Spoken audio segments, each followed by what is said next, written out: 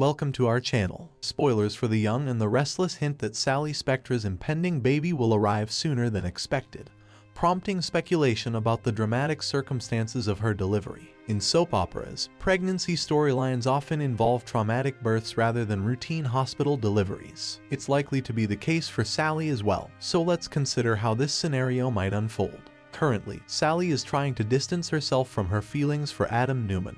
Despite urging Adam to let her go, it's evident that Sally hasn't fully let go of him either. Her true feelings for Nick Newman should be what matters most, but there's a lingering sense that Adam still holds a place in her heart. Deep down, Nick can't help but doubt that Sally won't be drawn back to Adam.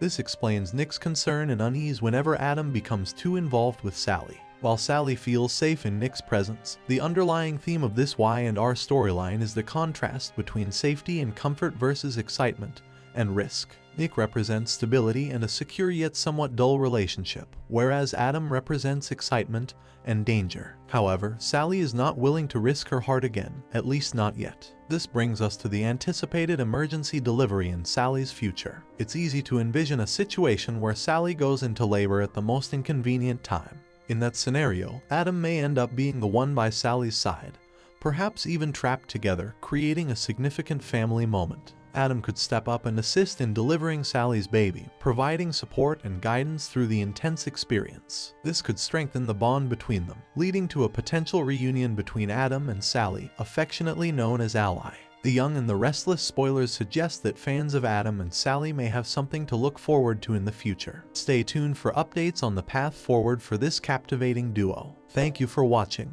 Please subscribe to our channel and press the bell icon for notifications. See you in our exciting next video.